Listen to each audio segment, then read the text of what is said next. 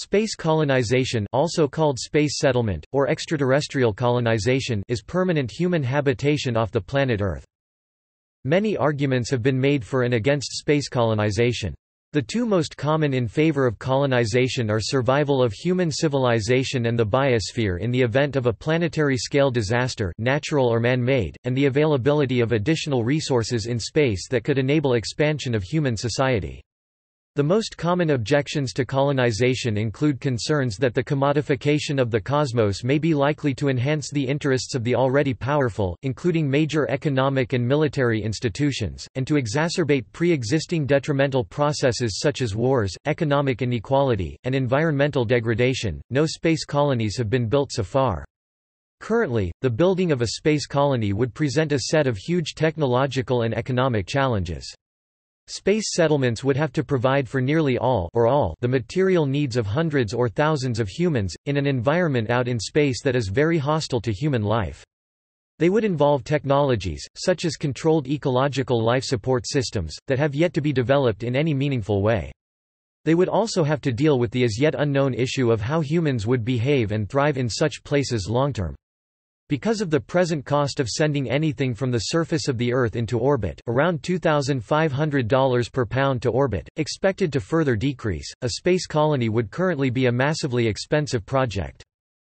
There are yet no plans for building space colonies by any large-scale organization, either government or private. However, many proposals, speculations, and designs for space settlements have been made through the years, and a considerable number of space colonization advocates and groups are active. Several famous scientists, such as Freeman Dyson, have come out in favor of space settlement. On the technological front, there is ongoing progress in making access to space cheaper. Reusable launch systems could reach $10 per pound to orbit, and in creating automated manufacturing and construction techniques. Topic: Reasons. Topic: Survival of human civilization. The primary argument calling for space colonization is the long-term survival of human civilization. By developing alternative locations off Earth, the planet's species, including humans, could live on in the event of natural or man-made disasters on our own planet. On two occasions, theoretical physicist and cosmologist Stephen Hawking has argued for space colonization as a means of saving humanity. In 2001, Hawking predicted that the human race would become extinct within the next thousand years, unless colonies could be established in space. In 2006, he stated that humanity faces two options, either we colonize space within the next 200 years and build residential units on other planets, or we will face the prospect of long-term extinction. In 2005, then NASA Administrator Michael Griffin identified space colonization as the ultimate goal of current spaceflight programs, saying, the goal isn't just scientific exploration. It's also about extending the range of human habitat out from Earth into the Solar System as we go forward in time. In the long run a single planet species will not survive. If we humans want to survive for hundreds of thousands or millions of years, we must ultimately populate other planets. Now, today the technology is such that this is barely conceivable. We're in the infancy of it. I'm talking about that one day, I don't know when that day is, but there will be more human beings who live off the Earth than on it. We may well have people living on the Moon. We may have people living on the moons of Jupiter and other planets. We may have people making habitats on asteroids. I know that humans will colonize the Solar System and one day go beyond. Louis J. Halle, formerly of the United States Department of State, wrote in Foreign Affairs summer 1980 that the colonization of space will protect humanity in the event of global nuclear warfare.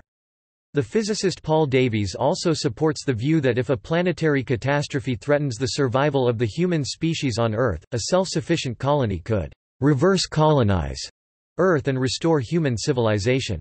The author and journalist William E. Burrows and the biochemist Robert Shapiro proposed a private project, the Alliance to Rescue Civilization, with the goal of establishing an off-Earth backup of human civilization. Based on his Copernican principle, J. Richard Gott has estimated that the human race could survive for another 7.8 million years, but it is not likely to ever colonize other planets. However, he expressed a hope to be proven wrong, because Colonizing other worlds is our best chance to hedge our bets and improve the survival prospects of our species.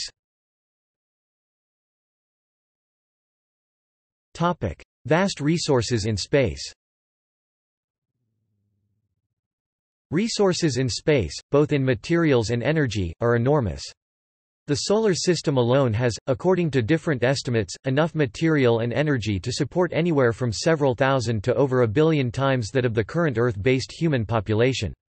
Outside the Solar System, several hundred billion other stars in the observable universe provide opportunities for both colonization and resource collection, though travel to any of them is impossible on any practical time scale without interstellar travel by use of generation ships or revolutionary new methods of travel, such as faster-than-light. Asteroid mining will also be a key player in space colonization. Water and materials to make structures and shielding can be easily found in asteroids. Instead of resupplying on Earth, mining and fuel stations need to be established on asteroids to facilitate better space travel. Optical mining is the term NASA uses to describe extracting materials from asteroids. NASA believes by using propellant derived from asteroids for exploration to the Moon, Mars, and beyond will save $100 billion. If funding and technology come sooner than estimated, asteroid mining might be possible within a decade. All these planets and other bodies offer a virtually endless supply of resources providing limitless growth potential. Harnessing these resources can lead to much economic development. Topic: Expansion with fewer negative consequences. Expansion of humans and technological progress has usually resulted in some form of environmental devastation, and destruction of ecosystems and their accompanying wildlife. In the past, expansion has often come at the expense of displacing many indigenous peoples, the resulting treatment of these peoples ranging anywhere from encroachment to genocide. Because space has no known life, this need not be a consequence, as some space settlement advocates have pointed out. Alleviating overpopulation and resource demand. Another argument for space colonization is to mitigate the negative effects of overpopulation. If the resources of space were open to use and viable life-supporting habitats were built, Earth would no longer define the limitations of growth. Although many of Earth's resources are non-renewable, off-planet colonies could satisfy the majority of the planet's resource requirements. With the availability of extraterrestrial resources, demand on terrestrial ones would decline. Other arguments Additional goals cite the innate human drive to explore and discover, a quality recognized at the core of progress and thriving civilizations. Nick Bostrom has argued that from a utilitarian perspective, space colonization should be a chief goal as it would enable a very large population to live for a very long period of time, possibly billions of years, which would produce an enormous amount of utility or happiness. He claims that it is more important to reduce existential risks to increase the probability of eventual colonization than to accelerate technological development so that space colonization could happen sooner. In his paper, he assumes that the created lives will have positive ethical value despite the problem of suffering. In a 2001 interview with Freeman Dyson, J. Richard Gott and Sid Goldstein, they were asked for reasons why some humans should live in space. Their answers were, Spread life and beauty throughout the universe. Ensure the survival of our species. Make money through new forms of space commercialization such as solar power satellites, asteroid mining, and space manufacturing. Save the environment of Earth by moving people and industry into space. Topic. Goals Although some items of the infrastructure requirements above can already be easily produced on Earth and would therefore not be very valuable as trade items oxygen, water, base metal ores, silicates, etc., other high-value items are more abundant, more easily produced, of higher quality, or can only be produced in space. These would provide over the long term a very high return on the initial investment in space infrastructure. Some of these high-value trade goods include precious metals, gemstones, power, solar cells, ball bearings, semiconductors, and pharmaceuticals. The mining and extraction of metals from a small asteroid the size of 3554 Amun or 6178-1986 Da, both small near-Earth asteroids, would be 30 times as much metal as humans have mined throughout history. A metal asteroid this size would be worth approximately $20 trillion at 2001 market prices. Space colonization is seen as a long-term goal of some national space programs. Since the advent of the 21st-century commercialization of space, which saw greater cooperation between NASA and the private sector, several private companies have announced plans toward the colonization of Mars. Among entrepreneurs leading the call for space colonization are Elon Musk, Dennis Tito and Bas Lansdorp. The main impediments to commercial exploitation of these resources are the very high cost of initial investment, the very long period required for the expected return on those investments the Eros project plans a 50-year development, and the fact that the venture has never been carried out before—the high-risk nature of the investment. Major governments and well-funded corporations have announced plans for new categories of activities, space tourism and hotels, prototype space-based solar power satellites, heavy lift boosters and asteroid mining—that create needs and capabilities for humans to be present in space. Method Building colonies in space would require access to water, food, space, people, construction materials, energy, transportation, communications, life support, simulated gravity, radiation protection and capital investment. It is likely the colonies would be located near the necessary physical resources. The practice of space architecture seeks to transform spaceflight from a heroic test of human endurance to a normality within the bounds of comfortable experience. As is true of other frontier opening endeavors, the capital investment necessary for space colonization would probably come from governments, an argument made by John Hickman and Neil deGrasse Tyson. Materials Colonies on the Moon, Mars, or asteroids could extract local materials. The Moon is deficient in volatiles such as argon, helium and compounds of carbon, hydrogen and nitrogen. The LCROSS impactor was targeted at the Cabeus crater which was chosen as having a high concentration of water for the Moon. A plume of material erupted in which some water was detected. Mission chief scientist Anthony Colaprete estimated that the Cabeus crater contains material with 1% water or possibly more. Water ice should also be in other permanently shadowed craters near the lunar poles. Although helium is present only in low concentrations on the Moon, where it is deposited into regolith by the solar wind, an estimated million tons of He3 exists overall. It also has industrially significant oxygen, silicon, and metals such as iron, aluminum, and titanium. Launching materials from Earth is expensive, so bulk materials for colonies could come from the Moon, a near-Earth object Neo, Phobos, or Deimos. The benefits of using such sources include, a lower gravitational force, no atmospheric drag on cargo vessels, and no biosphere to damage. Many NEOs contain substantial amounts of metals. Underneath a drier outer crust much like oil shale, some other NEOs are inactive comets which include billions of tons of water ice and kerogen hydrocarbons, as well as some nitrogen compounds. Farther out, Jupiter's Trojan asteroids are thought to be rich in water ice and other volatiles. Recycling of some raw materials would almost certainly be necessary. Energy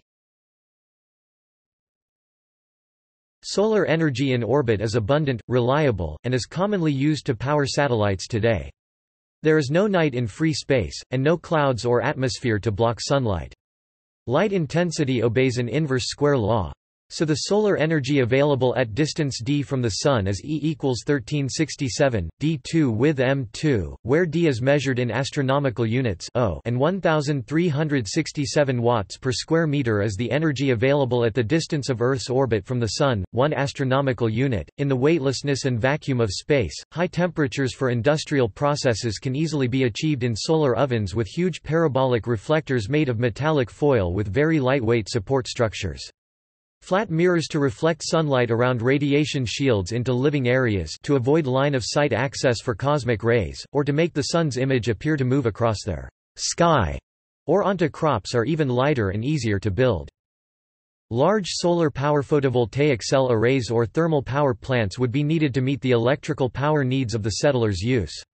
In developed parts of Earth, electrical consumption can average 1 kilowatt person or roughly 10 megawatt hours per person per year. These power plants could be at a short distance from the main structures if wires are used to transmit the power, or much farther away with wireless power transmission. A major export of the initial space settlement designs was anticipated to be large solar power satellites that would use wireless power transmission phase-locked microwave beams or lasers emitting wavelengths that special solar cells convert with high efficiency to send power to locations on Earth, or to colonies on the Moon or other locations in space. For locations on Earth, this method of getting power is extremely benign, with zero emissions and far less ground area required per watt than for conventional solar panels. Once these satellites are primarily built from lunar or asteroid-derived materials, the price of SPS electricity could be lower than energy from fossil fuel or nuclear energy. Replacing these would have significant benefits such as the elimination of greenhouse gases and nuclear waste from electricity generation. Transmitting solar energy wirelessly from the Earth to the Moon and back is also an idea proposed for the benefit of space colonization and energy resources. Physicist Dr. David Criswell, who worked for NASA during the Apollo missions, came up with the idea of using power beams to transfer energy from space. These beams, microwaves with a wavelength of about 12 cm, will be almost untouched as they travel through the atmosphere.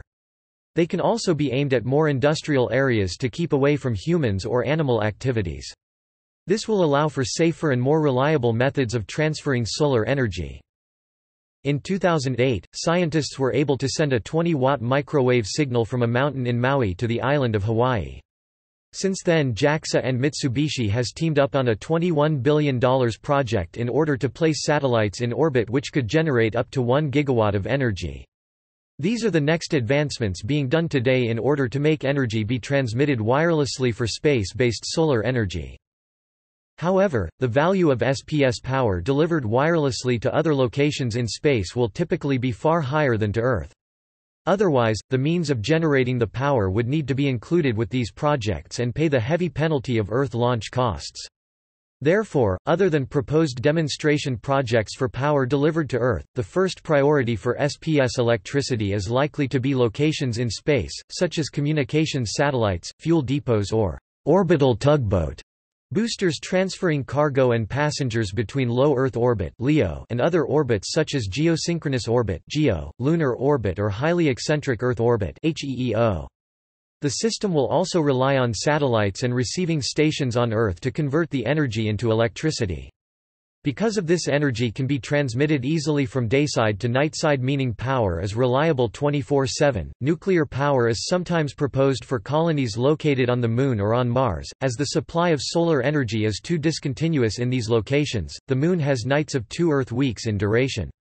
Mars has nights, relatively high gravity, and an atmosphere featuring large dust storms to cover and degrade solar panels. Also, Mars' greater distance from the Sun 1.5 astronomical units, O translates into E, 1.52 equals 2.25 only one-half to two-thirds the solar energy of Earth orbit. Another method would be transmitting energy wirelessly to the lunar or Martian colonies from solar power satellites SPSs as described above. The difficulties of generating power in these locations make the relative advantages of SPSs much greater there than for power beamed to locations on Earth. In order to also be able to fulfill the requirements of a moon base and energy to supply life support, maintenance, communications, and research, a combination of both nuclear and solar energy will be used in the first colonies, for both solar thermal and nuclear power generation in airless environments, such as the Moon and space, and to a lesser extent the very thin Martian atmosphere. One of the main difficulties is dispersing the inevitable heat generated. This requires fairly large radiator areas. Topic: Life support. In space settlements, a life support system must recycle or import all the nutrients without crashing. The closest terrestrial analog to space life support is possibly that of a nuclear submarine. Nuclear submarines use mechanical life support systems to support humans for months without surfacing, and this same basic technology could presumably be employed for space use. However, nuclear submarines run open loop, extracting oxygen from seawater, and typically dumping carbon dioxide overboard, although they recycle existing oxygen. Recycling of the carbon dioxide has been approached in the literature using the Sabatier process or the Bosch reaction. Although a fully mechanistic life support system is conceivable, a closed ecological system is generally proposed for life support. The Biosphere 2 project in Arizona has shown that a complex, small, enclosed, man-made biosphere can support eight people for at least a year, although there were many problems. A year or so into the two-year mission oxygen had to be replenished, which strongly suggests that they achieved atmospheric closure. The relationship between organisms, their habitat and the non-Earth environment can be Organisms and their habitat fully isolated from the environment. Examples include artificial biosphere, biosphere 2, life support system Changing the environment to become a life-friendly habitat, a process called terraforming Changing organisms to become more compatible with the environment. See genetic engineering, transhumanism, cyborg. A combination of the above technologies is also possible.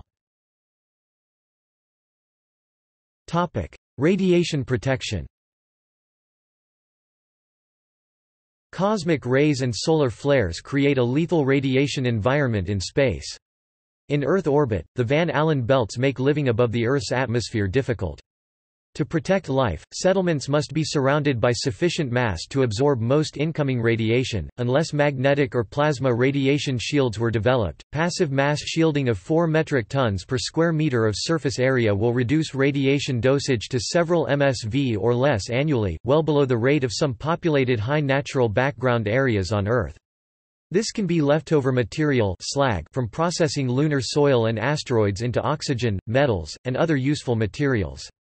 However, it represents a significant obstacle to maneuvering vessels with such massive bulk mobile spacecraft being particularly likely to use less massive active shielding. Inertia would necessitate powerful thrusters to start or stop rotation, or electric motors to spin two massive portions of a vessel in opposite senses. Shielding material can be stationary around a rotating interior. Self-replication Space manufacturing could enable self-replication. Some think it's the ultimate goal because it allows an exponential increase in colonies, while eliminating costs to and dependence on Earth. It could be argued that the establishment of such a colony would be Earth's first act of self-replication. Intermediate goals include colonies that expect only information from Earth science, engineering, entertainment and colonies that just require periodic supply of lightweight objects, such as integrated circuits, medicines, genetic material and tools. Psychological adjustment The monotony and loneliness that comes from a prolonged space mission can leave astronauts susceptible to cabin fever or having a psychotic break. Moreover, lack of sleep, fatigue, and work overload can affect an astronaut's ability to perform well in an environment such as space where every action is critical. Population size In 2002, the anthropologist John H. Moore estimated that a population of 150 to 180 would permit a stable society to exist for 60 to 80 generations—equivalent to 2,000 years. A much smaller initial population of as little as two women should be viable as long as human embryos are available from Earth. Use of a sperm bank from Earth also allows a smaller starting base with negligible inbreeding. Researchers in conservation biology have tended to adopt the 5500s Rule of thumb initially advanced by Franklin and Soule. This rule says a short-term effective population size of 50 is needed to prevent an unacceptable rate of inbreeding, whereas a long-term nay of 500 is required to maintain overall genetic variability. The NA 50 prescription corresponds to an inbreeding rate of 1% per generation, approximately half the maximum rate tolerated by domestic animal breeders. The NA 500 value attempts to balance the rate of gain in genetic variation due to mutation with the rate of loss due to genetic drift. Assuming a journey of 6,300 years, the astrophysicist Frédéric Marin and the particle physicist Camille Beluffi calculated that the minimum viable population for a generation ship to reach Proxima Centauri would be 98 settlers at the beginning of the mission then the crew will breed until reaching a stable population of several hundred settlers within the ship. Location Location is a frequent point of contention between space colonization advocates.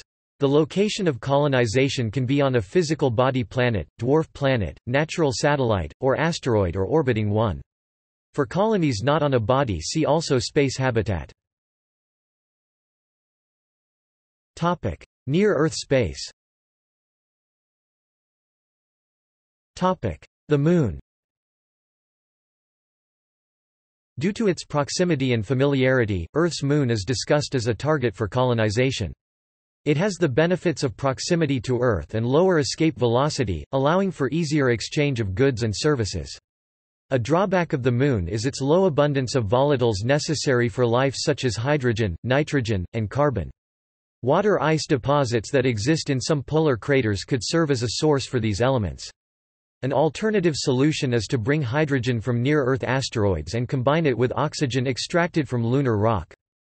The Moon's low surface gravity is also a concern, as it is unknown whether one-sixth of a gram is enough to maintain human health for long periods. The Moon's lack of atmosphere provides no protection from space radiation or meteoroids. The early Moon colonies may shelter in ancient lunar lava tubes to gain protection. The two-week day-night cycle makes use of solar power more difficult. Lagrange points Another near-Earth possibility are the five Earth-Moon Lagrange points. Although they would generally also take a few days to reach with current technology, many of these points would have near continuous solar power because their distance from Earth would result in only brief and infrequent eclipses of light from the Sun. However, the fact that the Earth-Moon Lagrange points L4 and L5 tend to collect dust and debris, whereas L1 L3 require active station-keeping measures to maintain a stable position, make them somewhat less suitable places for habitation than was originally believed. Additionally, the orbit of L2-L5 takes them out of the protection of the Earth's magnetosphere for approximately two-thirds of the time, exposing them to the health threat from cosmic rays. The five Earth-Sun Lagrange points would totally eliminate eclipses, but only L1 and L2 would be reachable in a few days' time. The other three Earth-Sun points would require months to reach. Other micro-G orbits See space habitat. The inner planets Mercury Colonizing Mercury would involve similar challenges as the Moon as there are few volatile elements, no atmosphere and the surface gravity is lower than Earth's. However, the planet also receives almost seven times the solar flux as the Earth-Moon system. Geologist Stephen Gillett suggested in 1996 that this could make Mercury an ideal place to build and launch solar sail spacecraft, which could launch as folded-up chunks by mass driver from Mercury's surface. Once in space the solar sails would deploy.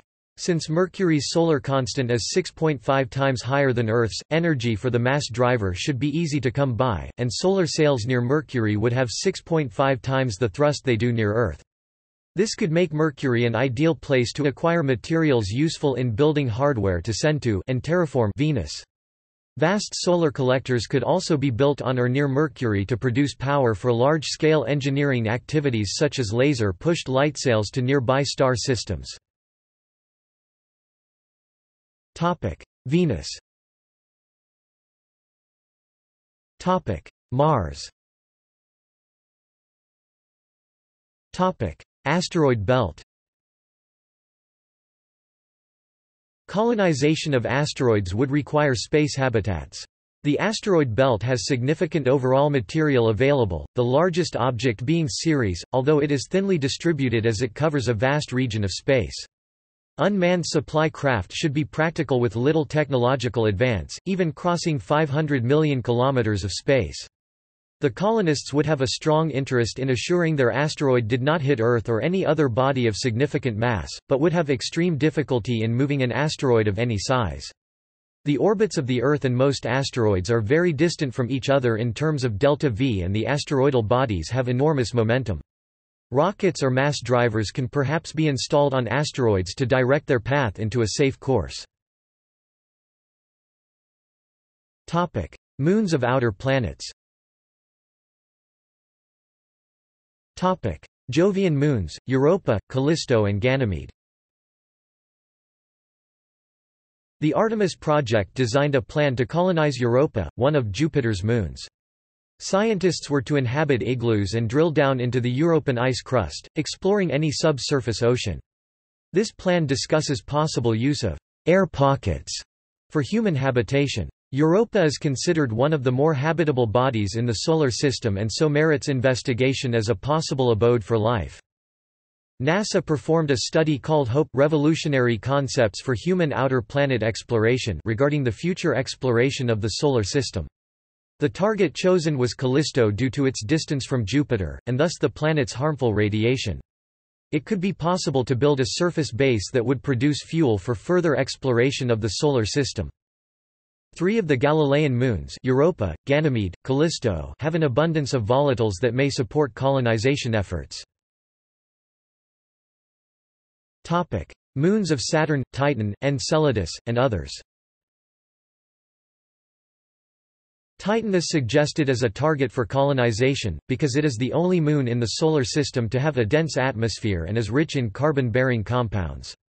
Titan has ice water and large methane oceans.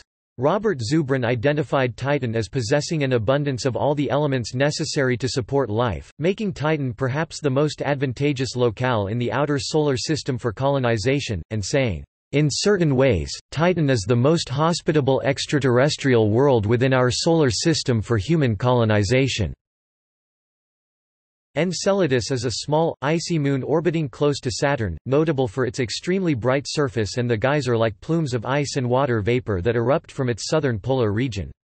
If Enceladus has liquid water, it joins Mars and Jupiter's moon Europa as one of the prime places in the Solar System to look for extraterrestrial life and possible future settlements. Other large satellites, Rhea, Iapetus, Dione, Tethys, and Mimas, all have large quantities of volatiles, which can be used to support settlements. Trans-Neptunian region The Kuiper belt is estimated to have 70,000 bodies of 100 km or larger. Freeman Dyson has suggested that within a few centuries human civilization will have relocated to the Kuiper belt. The Oort cloud is estimated to have up to a trillion comets. Topic: Outside the solar system. Looking beyond the Solar System, there are up to several hundred billion potential stars with possible colonization targets. The main difficulty is the vast distances to other stars, roughly a hundred thousand times further away than the planets in the Solar System. This means that some combination of very high speed some percentage of the speed of light, or travel times lasting centuries or millennia, would be required. These speeds are far beyond what current spacecraft propulsion systems can provide. Many scientific papers have been published about interstellar travel.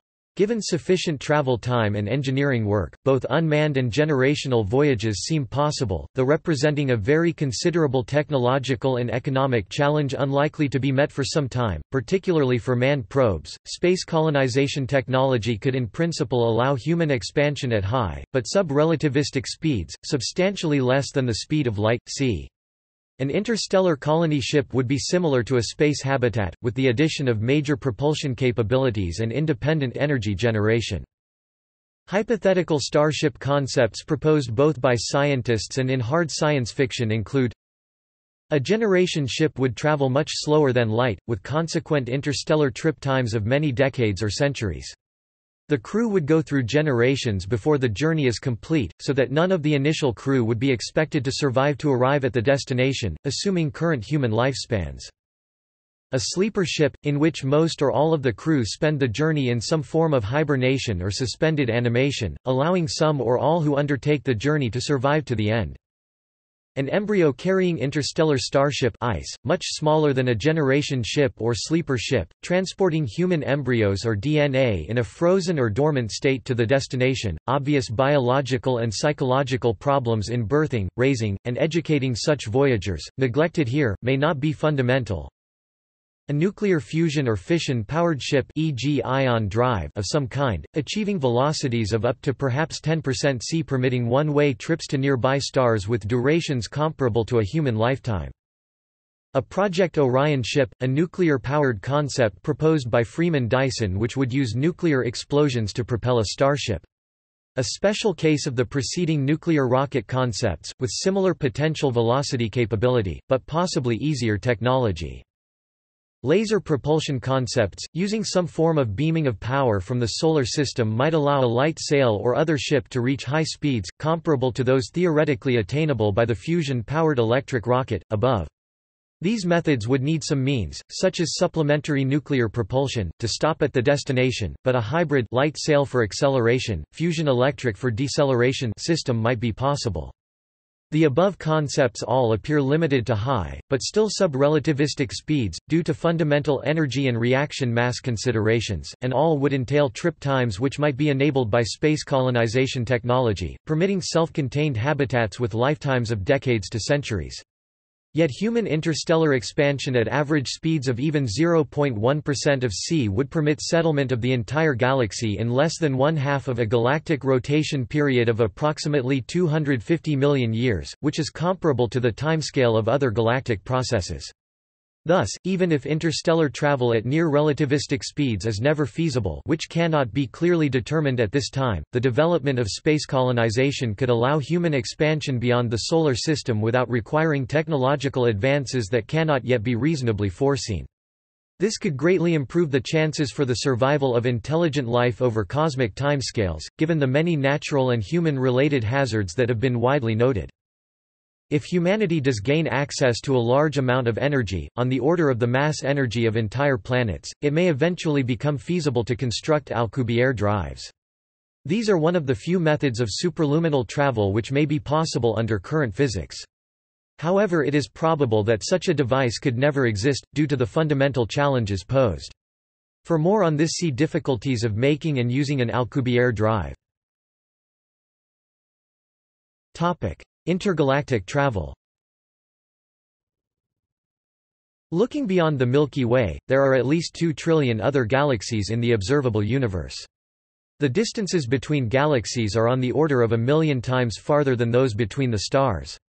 Because of the speed of light limit on how fast any material objects can travel in space, intergalactic travel would either have to involve voyages lasting millions of years, or a possible faster-than-light propulsion method based on speculative physics, such as the Alcubierre drive.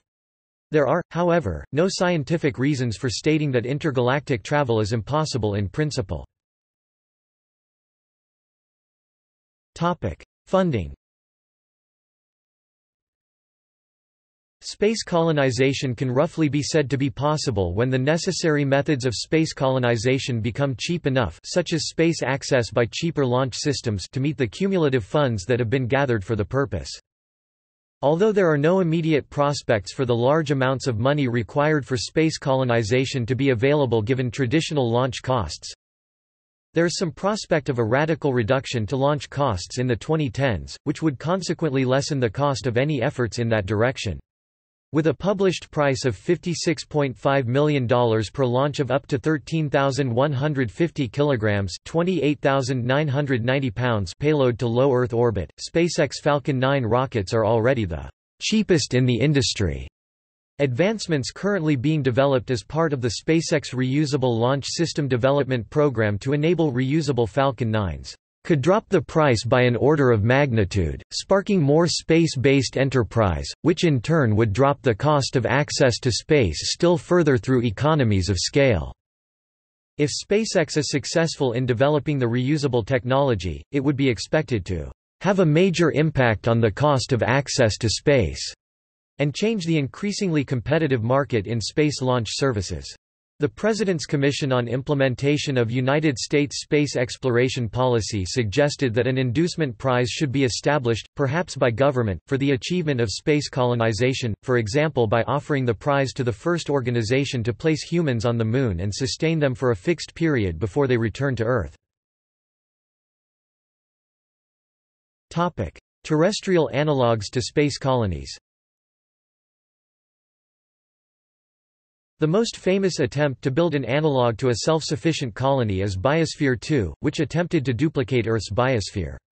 BIOS 3 is another closed ecosystem, completed in 1972 in Krasnoyarsk, Siberia. Many space agencies build testbeds for advanced life support systems, but these are designed for long-duration human spaceflight, not permanent colonization. Remote research stations in inhospitable climates, such as the Amundsen Scott South Pole Station or Devon Island Mars Arctic Research Station, can also provide some practice for off-world outpost construction and operation. The Mars Desert Research Station has a habitat for similar reasons, but the surrounding climate is not strictly inhospitable. History The first known work on space colonization was The Brick Moon, a work of fiction published in 1869 by Edward Everett Hale, about an inhabited artificial satellite. The Russian schoolmaster and physicist Konstantin Tsiolkovsky foresaw elements of the space community in his book Beyond Planet Earth written about 1900. Tsiolkovsky had his space travelers building greenhouses and raising crops in space. Tsiolkovsky believed that going into space would help perfect human beings, leading to immortality and peace. Others have also written about space colonies as Lasswitz in 1897 and Bernal, Oberth, von Pirquet, and Noordung in the 1920s. Wernher von Braun contributed his ideas in a 1952 Collier's article. In the 1950s and 1960s, Dandridge M. Cole published his ideas. Another seminal book on the subject was the book The High Frontier, Human Colonies in Space by Gerard K. O'Neill in 1977 which was followed the same year by Colonies in Space by T. A. Heppenheimer, M.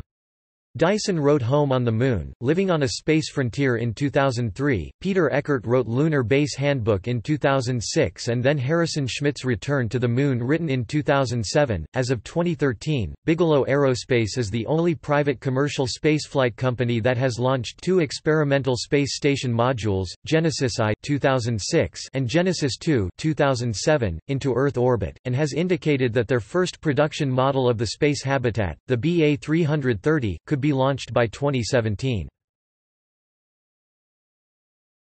Topic: Planetary protection.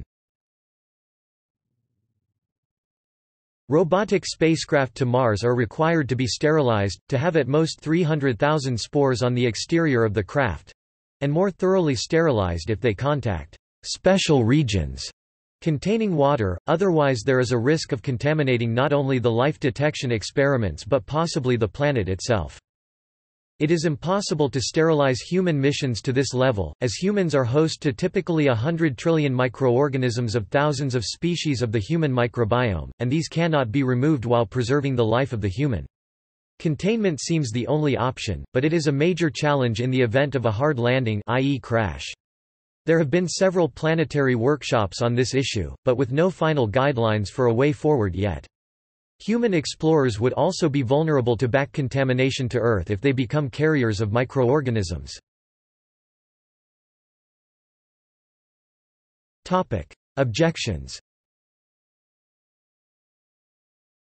A corollary to the Fermi paradox, "'Nobody else is doing it' is the argument that, because no evidence of alien colonization technology exists, it is statistically unlikely to even be possible to use that same level of technology ourselves. Colonizing space would require massive amounts of financial, physical, and human capital devoted to research, development, production, and deployment.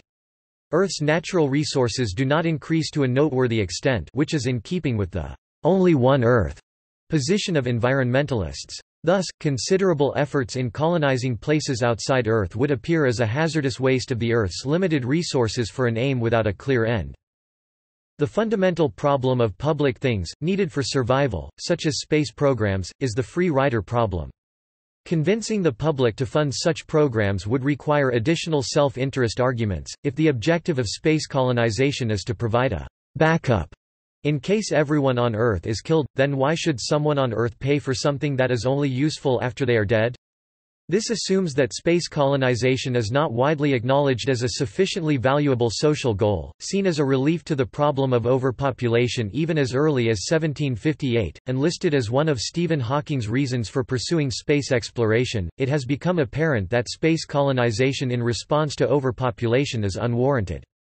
Indeed, the birth rates of many developed countries, specifically spacefaring ones, are at or below replacement rates, thus negating the need to use colonization as a means of population control. Other objections include concerns that the forthcoming colonization and commodification of the cosmos may be likely to enhance the interests of the already powerful, including major economic and military institutions, e.g., the large financial institutions, the major aerospace companies, and the military industrial complex, to lead to new wars and to exacerbate pre-existing exploitation of workers and resources, economic inequality, poverty, social division and marginalization, environmental degradation, and other detrimental processes or institutions. Additional concerns include creating a culture in which humans are no longer seen as human, but rather as material assets.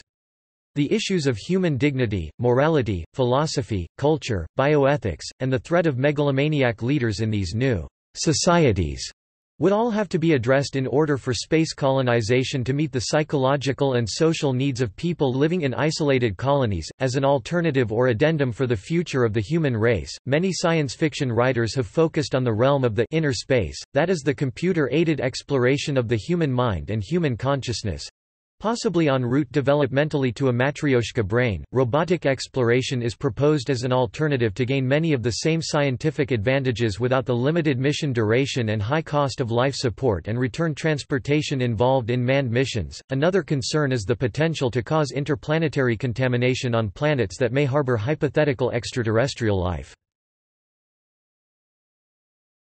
Topic: Physical, mental and emotional health risks to colonizers. An additional concern is the health of the humans who may participate in a colonization venture, including a range of physical, mental and emotional health risks. Involved organizations Organizations that contribute to space colonization include The Space Studies Institute funds the study of space habitats.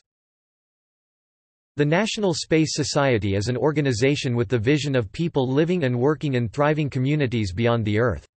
The NSS also maintains an extensive library of full-text articles and books on space settlement. The Space Frontier Foundation performs space advocacy including strong free market, capitalist views about space development. The Living Universe Foundation has a detailed plan in which the entire galaxy is colonized. The Mars Society promotes Robert Zubrin's Mars Direct Plan and the settlement of Mars.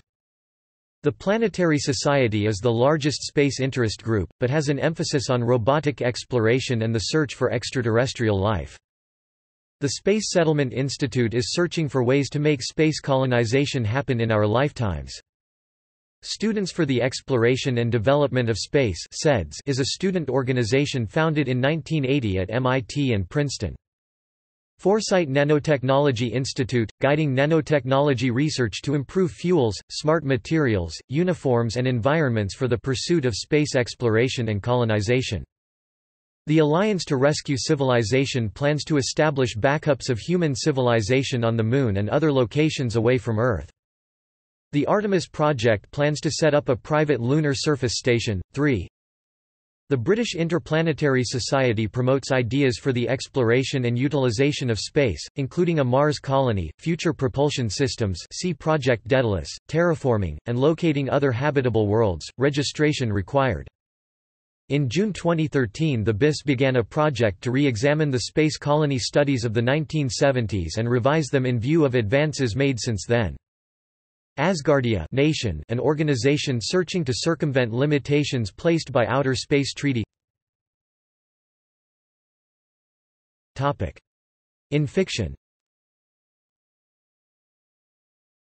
Although established space colonies are a stock element in science fiction stories, fictional works that explore the themes, social or practical, of the settlement and occupation of a habitable world are much rarer. See also References Further reading Papersferrando, Francesca July 2016. Why Space Migration Must Be Posthuman. The Ethics of Space Exploration. Space and Society. The Ethics of Space Exploration. New York, U.S., Springer. Pp. 137–152 doi 10.1007 978 3 319 39827 3 underscore 10 ISBN 978-3-319-39825-9. Tiziani, Moreno June 2013. The Colonization of Space – An Anthropological Outlook PDF, 9. Rome, Italy, Antrocom. Pp. 225–236. ISSN 1973-2880. Foss, Nicole December 2016. Mass Extinction and Mass Insanity Bookcharison, Albert A. 2002. Spacefaring, The Human Dimension. Berkeley, California, U.S., University of California Press. ISBN 978-0-520-23677-6. Seedhouse, Eric 2009. Lunar Outpost, The Challenges of Establishing a Human Settlement on the Moon. Chichester, UK, Praxis Publishing Limited. ISBN 978-0-387-09746-6. Also see 4 Seedhouse, Eric 2009. Martian Outpost, The Challenges of Establishing a Human Settlement on Mars. Chichester, UK, Praxis Publishing Limited. ISBN 978-0-387-98190-1. Also see 5, 6 Seedhouse, Eric 2012. Interplanetary Outpost, The Human and Technological Challenges of Exploring the Outer Planets. Berlin, Springer. ISBN 978-1-4419-9747-0. Cameron M. Smith, Evan T. Davies, 2012. Emigrating Beyond Earth, Human Adaptation and Space Colonization. Berlin, Springer Verlag. ISBN 978-1-4614-1164-2. Videorays, Martin March 2017. Brief talk on some key issues in space exploration and colonization. Posted on the official YouTube channel of Casina Pio IV.